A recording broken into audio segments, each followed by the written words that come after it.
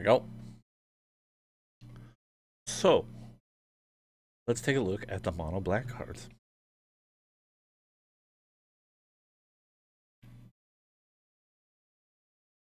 The first black card we have is Arrogant Outlaw, one of the creatures that we looked at last weekend.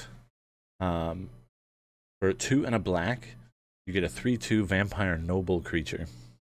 When Arrogant Outlaw enters the battlefield, if an opponent lost life this turn, each opponent loses two life and you gain two life. So if you're playing command, this is a very interesting commander card because if you're playing commander and any opponent loses life this turn and you cast vampire or arrogant outlaw, then all of your opponents lose two life and you gain two life. So you can attack one creature or one one commander, one player. My brain is all over the place. You can attack one opponent and then play Arrogant Outlaw or already have Arrogant Outlaw out there. Um, and so doing damage to one person also does damage to your other two opponents because everyone will then lose two life on top of that. Very good. I wonder if there is a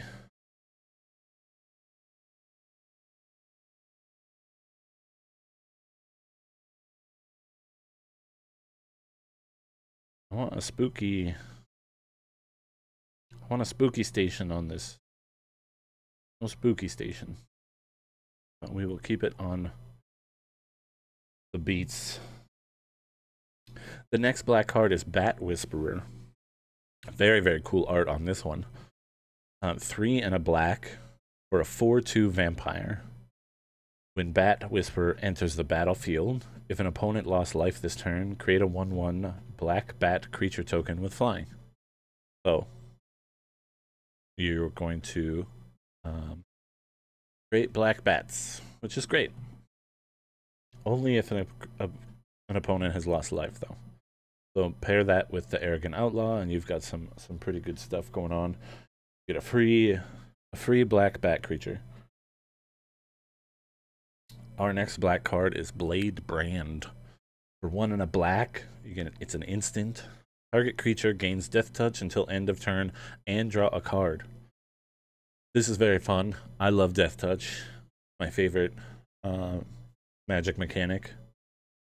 Um, normally, I play a lot of creatures with death touch, so this doesn't super affect some of my decks, like my uh, Fynn the Fangbearer deck. It's not going to affect too much, but it does mean that I can put creatures without Death Touch into my deck and then give it Death Touch with Bladebrand, and it helps me draw cards. So it's card draw and Death Touch. Uh, it's instant speed, so you can cast it after combat uh, attackers and defenders are declared. Um, yeah, it's good. Card draw is always important. The next black card is Blood Pact two and a black, instant. Target player draws two cards and loses two life.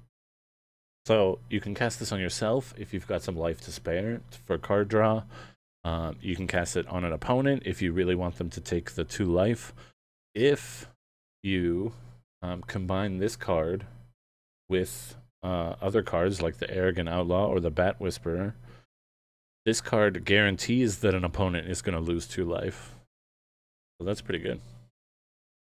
That will that will trigger your arrogant outlaw and the um, lose two, gain two. It will also trigger the bat whisperer to create a bat, bat token.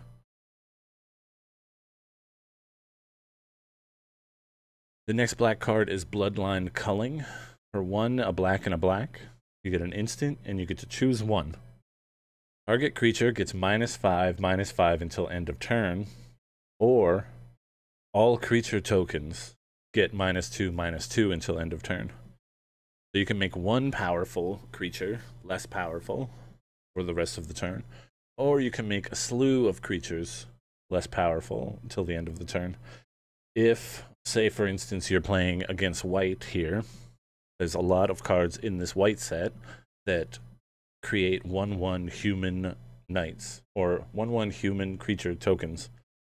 If you play Bloodline Culling and your opponent has a bunch of 1 1 human creature tokens, this is going to kill all of them because it's minus 2, minus 2 on all creature tokens. So, including yourself. So, you might want to keep in mind how many creature tokens you might lose. But it is very, very good if you're playing against that white deck that we were talking about earlier because it's going to kill all of their human tokens. Potentially.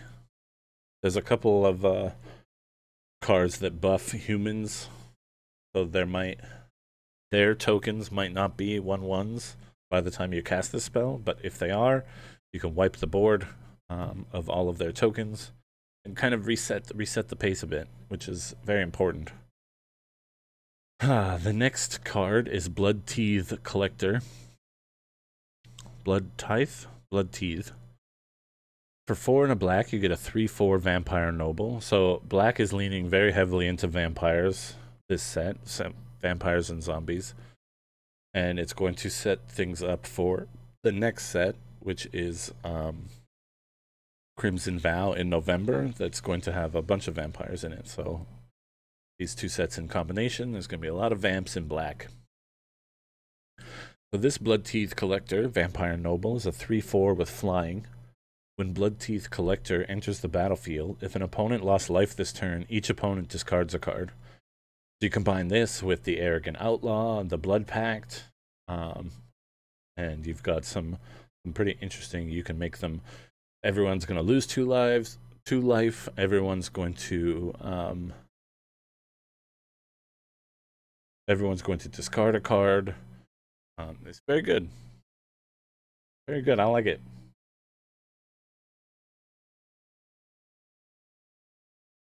Uh, the next card is Champion of the Perished. This is a card we went over earlier as well. It's one black for a 1 1 zombie creature. With whenever another zombie enters the battlefield under your control, put a 1 1 counter on Champion of the Perished. So any zombie, any card with zombie in the creature title, you can put a 1 1 counter on Champion of the Perished. So he becomes more buff the more zombies you have. It's pretty great. Uh, the next card is Crawl from the Cellar. That's some very cool art. Wearing like a suit and he's crawling out of like some barrels. Uh, it's one black for a sorcery. Return target creature card from your graveyard to your hand. Put a 1 1 counter on it. And, oh, put a 1 1 counter on up to one target zombie you control and it has flashbacks. So you can pay. You can do this again uh, for four mana after the fact once this card is in your graveyard. So you can put this one-one counter on um, Champion of the Perished. You can put it on another zombie if you want. The next card is another card we've gone over, uh, Defenestrate, which is a weird English word that means to throw someone from a window. As you can see, this card is throwing someone from a window. For two and a black, you destroy target creature without flying. It can't fly, and you've thrown it out of a window, so it's going to die. The next black card is Diregraf Horde. For four and a black, you get a 3-4 zombie creature. When Diregraf Horde enters the battlefield, create two 2-2 black zombie creature tokens with Decayed. When you do, exile up to two target creature cards from graveyards. Um, so again, a creature with Decayed means it can't block, and then when it does attack, you sacrifice it after combat. Um, and you have to exile up to two target cards from graveyards.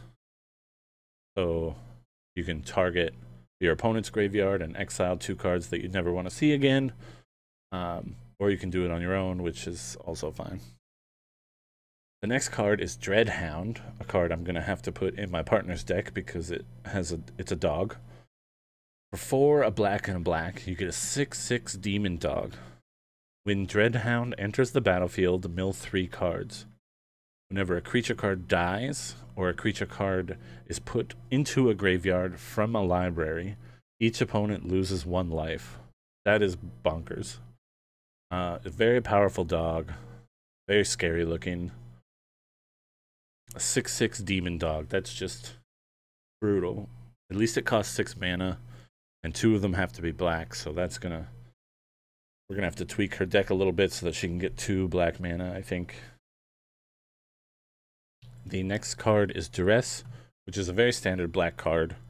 Um, I don't know why it's in this list. I know it's got new art. So this is new Duress art, which is very great art. Someone being chained up with mystical chains. So for one black, target opponent reveals their hand. You choose a non-creature, non-land card from it, and that player discards that card. So Duress has always been and forever will be the best card to play if you're playing black. Um, if you want to remove spells, especially counters, uh, from your opponent's hand. If you're playing a blue player, playing uh, against someone who's playing mono blue, um, you definitely want to run some duress cards because then you get to uh, remove some of the counters from their hand and make sure that you can play some spells. It also makes it so that you can look at your opponent's entire hand, which is very useful in a lot of cases.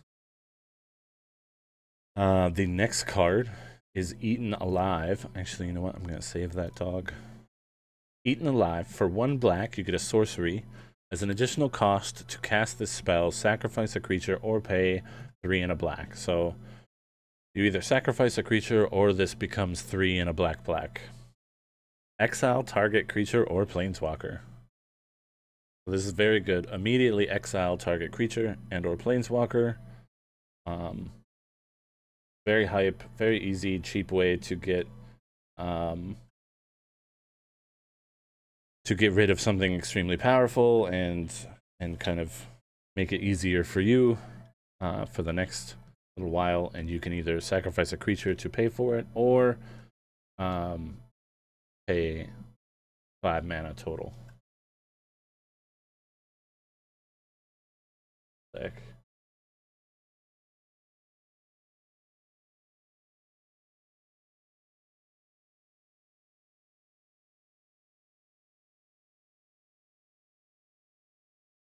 Uh, the next card in mono black is Foul Play. For one and a black. Oh, hold on one sec. Turn my fan on.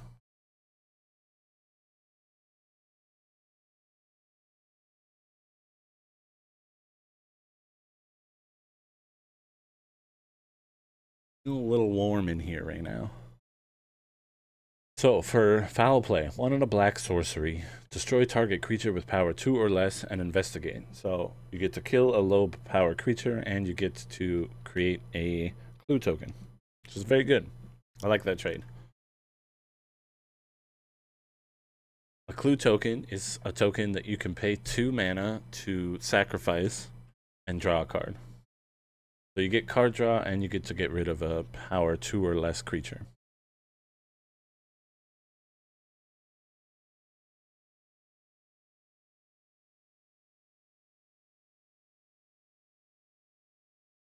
The next black card is Ghoulish Procession. For one and a black, you get an enchantment. Whenever one or more non token creatures die, create a 2 2 black zombie creature token with Decayed. This ability only triggers once per turn. So you can't create. Um, you can't create a an entire army of zombies in one turn, but you can, over time, create a bunch of zombies. The next black card is Gisa, Glorious Resurrector. This is the um, mono-colored commander in Innistrad Midnight Hunt. Gisa, Glorious Resurrector, costs two, a black and a black. He's a 4-4 human wizard. If a creature an opponent controls would die, exile it.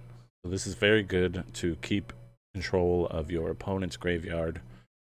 If you're exiling everything they have, then you're not going to be worried about them recasting things or using their disturb um, cast to create a more powerful creature.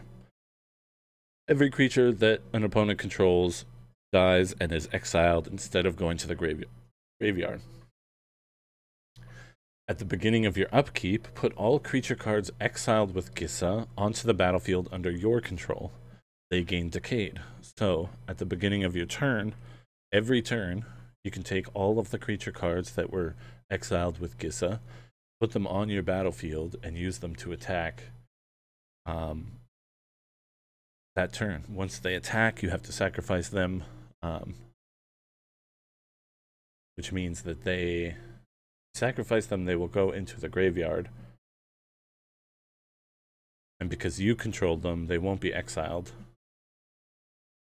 So they're exiled for one turn, basically, and then you can use them on your own battlefield to then fight your opponents. Very interesting. I think there's going to be a lot of really neat, neat ways to play with Gisa. The glorious resurrector. She looks happy that she's doing it, having a good time. I think mono black players or black combo players are going to have a good time too. The next card is Hobbling Zombie for two and a black. You get a 2 2 zombie creature with Death Touch. When Hobbling Zombie dies, create a 2 2 black zombie creature token with Decayed and that's that's pretty standard. We've gone over what decayed means a bunch of times. Um, you get a 2-2 creature with Death Touch, and then when it dies, you get another 2-2 creature with Decayed. The next card is Infernal Grasp, another card we've gone over in the past.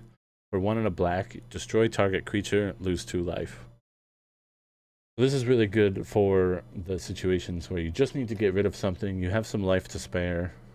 Um, it only costs two mana and two life, and you get to destroy a target creature.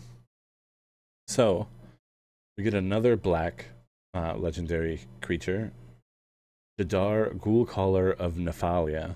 For one and a black, you get a 1 1 human wizard. At the beginning of your end step, if you control no creatures with Decayed, create a 2 2 black zombie creature token with Decayed. So, Jadar isn't the type of commander or legendary creature that you want to attack with or do anything with. You want to protect them so that at the end of your turn, you create a zombie creature token if you don't have anything that has decayed on it already. So, um, in combination with Gisa, it's a little bit weak because um, Gisa is going to give you a bunch of creatures with decayed. But if you use all those creatures, to attack and then sacrifice all of them, then at the end of your turn, you're not going to have anything with Decayed. So maybe it is actually a good combination with Jadar. It's very interesting. Um, the next black card is Lord of the Forsaken. This is a mythic rare. For four, a black and a black, you get a 6 6 demon creature with flying and trample. You can pay one black to sacrifice another creature. Target player mills three cards. As long as you have black mana, you can make someone mill a ton of cards. You can pay one life to add colorless mana to spend this and spend this mana only to cast a spell from your graveyard. So if you're casting a a creature spell um, from your graveyard or you're casting any of the spells with flashback from your graveyard, you can pay a life to add colorless to spend to cast those spells cheaper.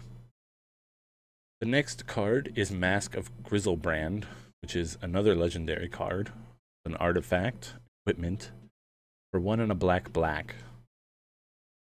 Equipped creature has flying and lifelink. Griselbrand was a notorious black creature card from sets past and is very overpowered, mostly banned, mostly frowned upon. Um, this is Mask of Griselbrand. Equipped creature has flying and lifelink. Whenever a equipped creature dies, you may pay X life, where X is its power. If you do, draw X cards.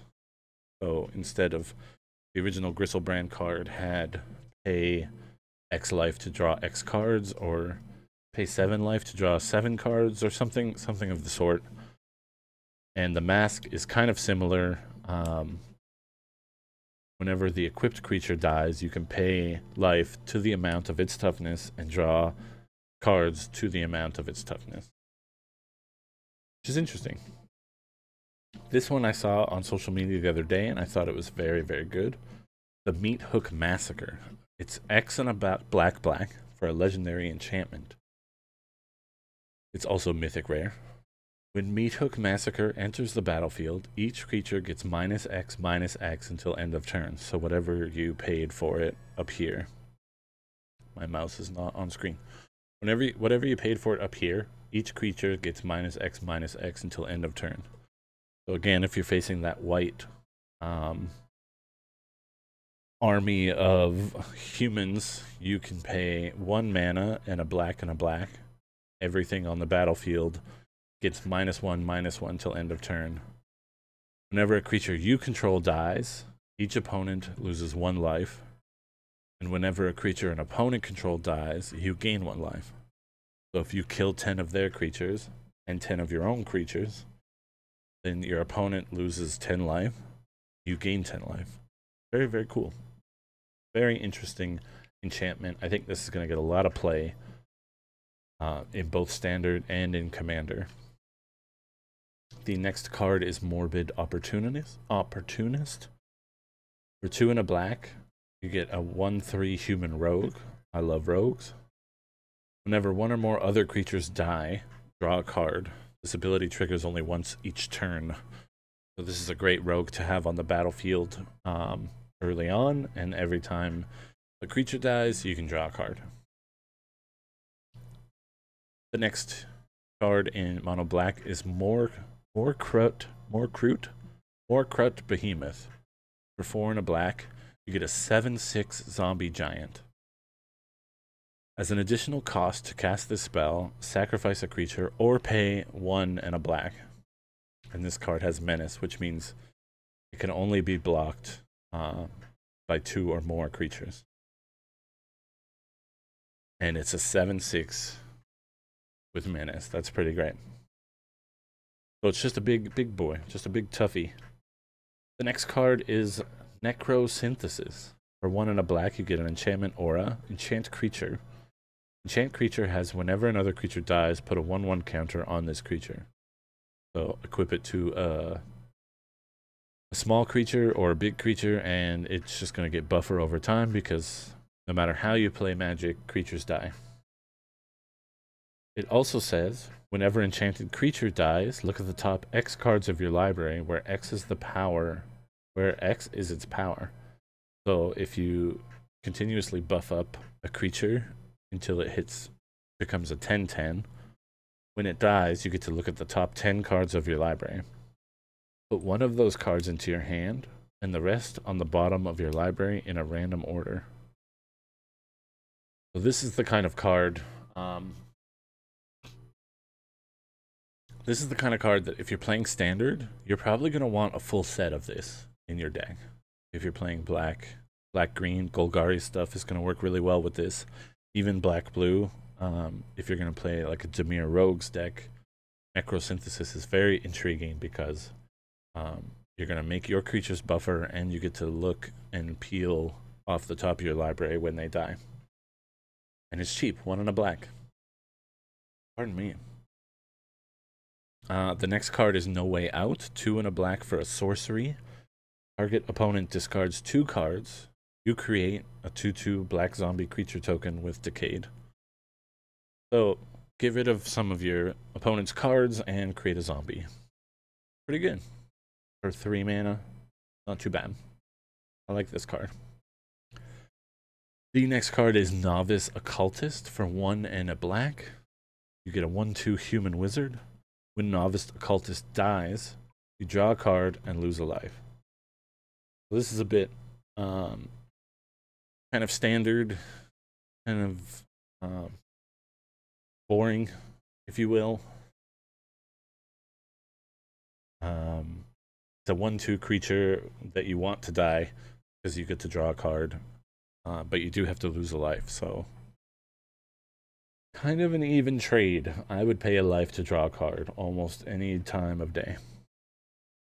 The next creature or the next card is Olivia's Midnight Ambush.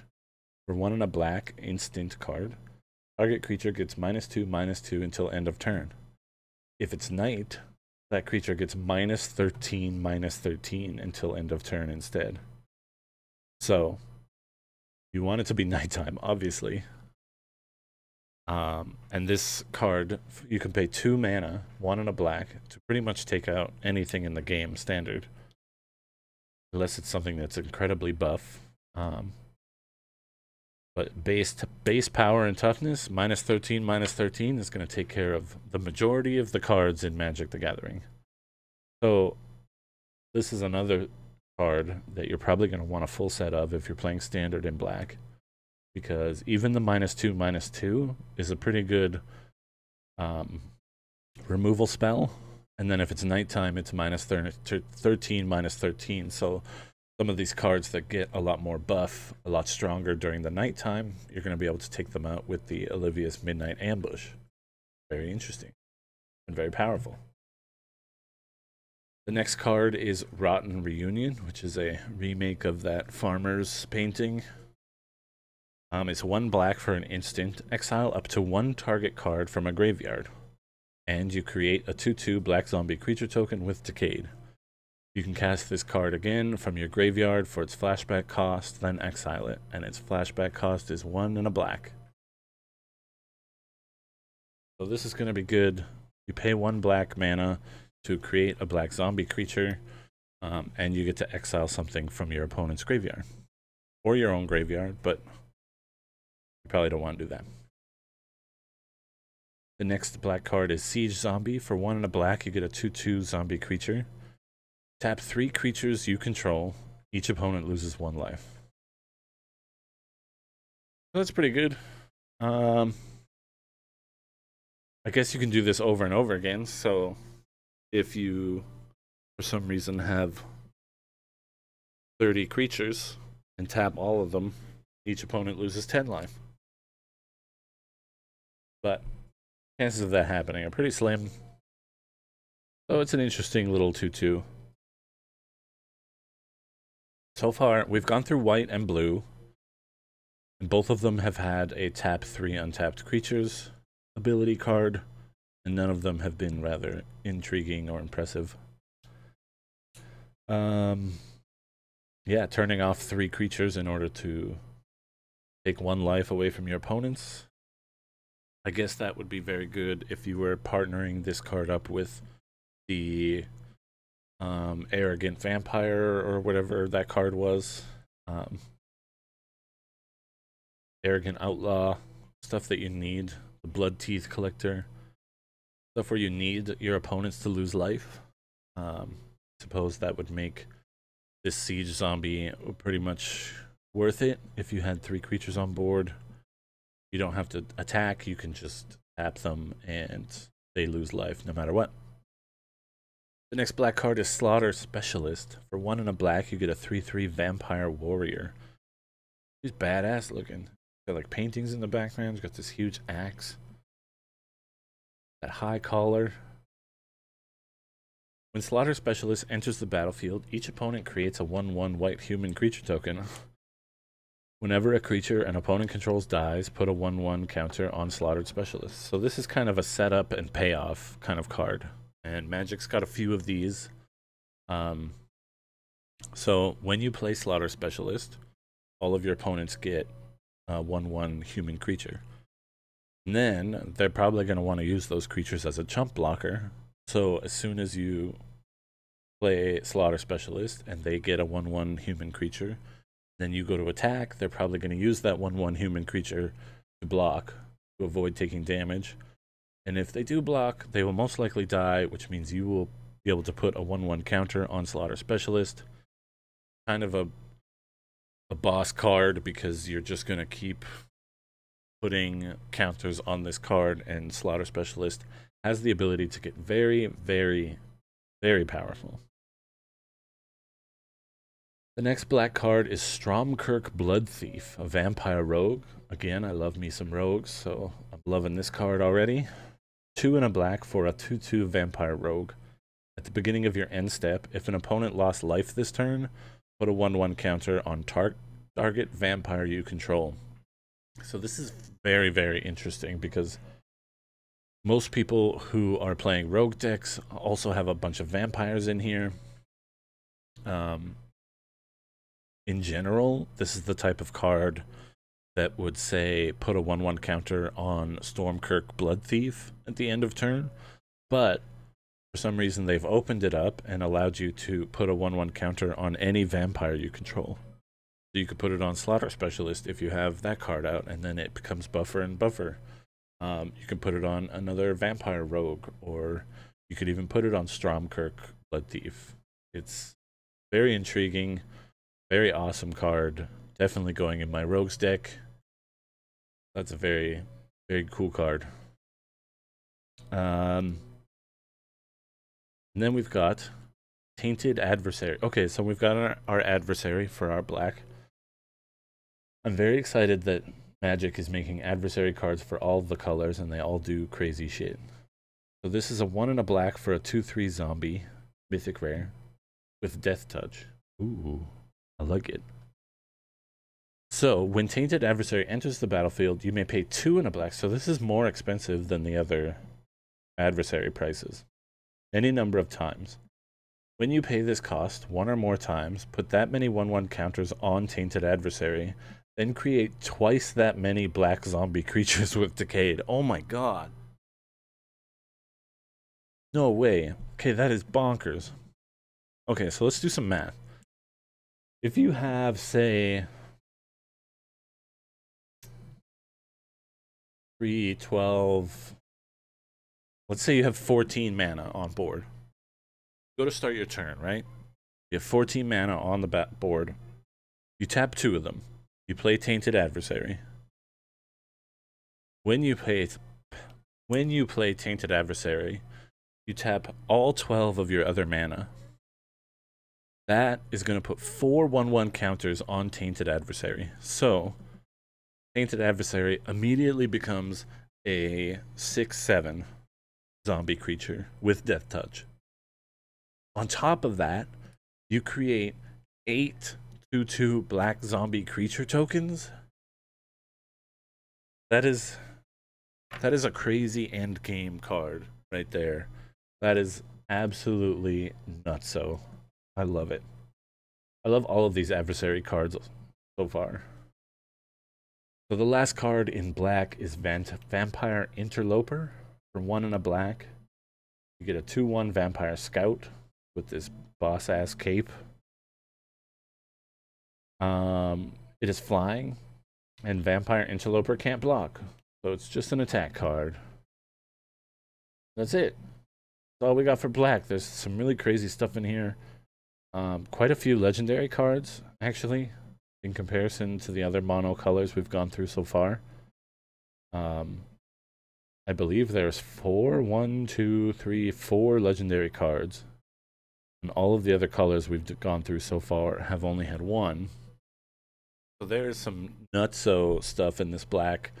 Um, some really great combos, but also some some just really great single cards. This Dreadhound is really powerful. Definitely putting that in my partner's dog deck. Um, stuff like Gulith Procession builds your zombie army up over time. Gisa is probably my favorite legendary creature so far because you get to exile and then play creatures from your opponent's um, library. Um, yeah, and then obviously the Tainted Adversary is very fun and very broken. Um, could be very broken. People are going to find a way to make this the most powerful thing on the planet. Um, there's a couple of good rogue cards in here for my rogue decks, which I'm always excited about. Uh, yeah, so we're just gonna take a quick, quick five minute